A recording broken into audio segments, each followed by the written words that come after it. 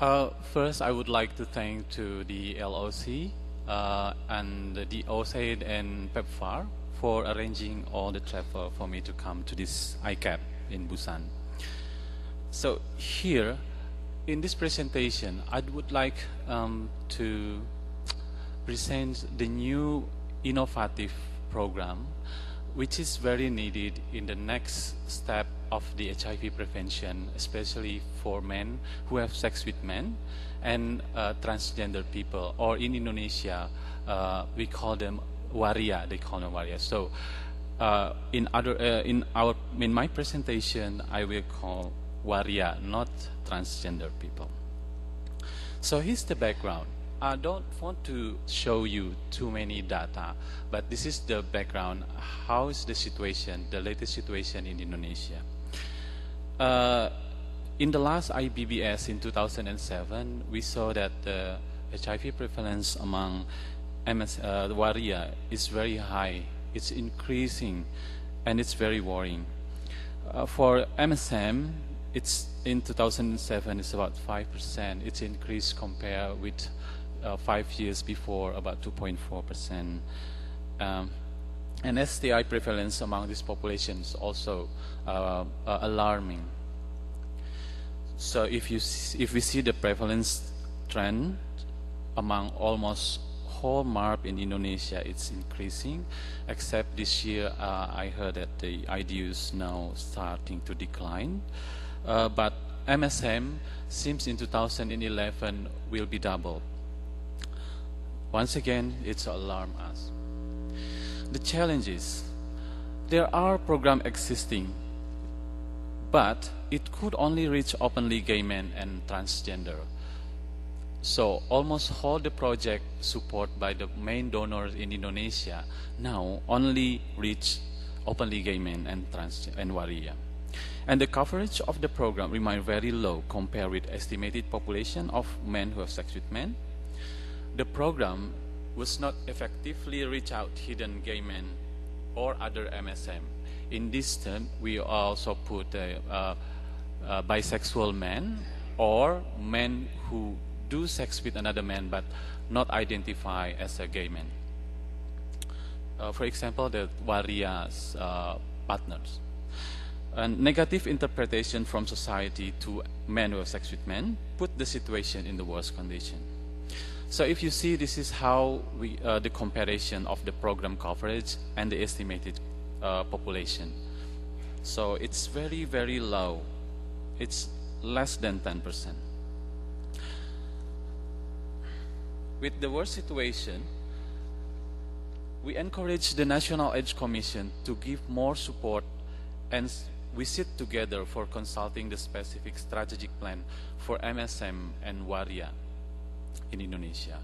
So, actually, in the third strategy of the National AIDS Strategy and Action Plan 2010-2014, we saw that the MSM and WARIA is already there in the third strategy.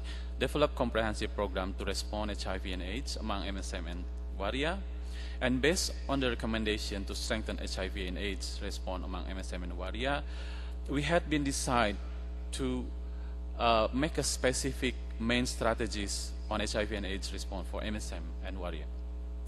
Number one is increasing program management, involvement, ownership, and program contextuality for MSM and WARIA. The second one is developing structural intervention to create social environment, which is support MSM and WARIA program. And the third is upscaling communication program coverage and effectivity to prevent new HIV um, infection among men sex with men and waria.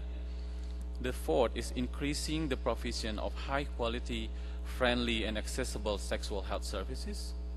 And the fifth is increasing the provision of high quality, friendly and accessible care, support and treatment services related to the positive prevention program for men with sex with men and waria positive. So we will talk about uh, how to upscaling communication program coverage and the effectivity. Then we share our role. So the community now actively involved in build partnership with our professional communication expert, who is also part of Men Who Have Sex with Men community. And then we start to facing all challenges and make it become opportunities. And then we strengthen our partnership with the national coordination body, National AIDS Commission, and also donor. In this part is USAID. And the fun began. Here's the critical situation of MSM in Indonesia or maybe in other countries. We're losing five big things fundamental of a human being. Lose or less self-pride, lose or less self-esteem, lose or less self-efficacy, lose or less self-determination, and also we lose or less respect for others. MSM and Waria always relate to disease and sin and many negative images. And the fact that the whole IEC material use disease-based approach and not never brought positive message. We can see here, if we talk about gay, always associated with a bad perception. Party, hedonism, gay equal free sex, drugs, lifestyle, not exist, taboo thing to talk about equal with HIV, is a phase, is a sin, is a disease, is a parasite, is a trend. And the bad thing, gay equal with hell. Can you imagine that? Actually, I think gay is happy. it's the fact. yeah, gay is happy, colorful, rainbow. It's the fact how gay really relate to the very negative images. But we have to move on. By taking chances and opportunities from the inside and situation and use them as a vehicle even for facing the key issues. But yet, still look at the situation around us because uh, uh, homosexuality is still become a very sensitive uh, among uh, a society in Indonesia. And we have to still keep it smooth and gently, but yet smart. So here's the strategy we have to do a greater involvement of gay men, waria, and other men who have sex with men in all steps of the new communication strategy making process. From need assessment, need analysis, drafting the product, distributing, using and giving back an input. This is the result from the need assessment.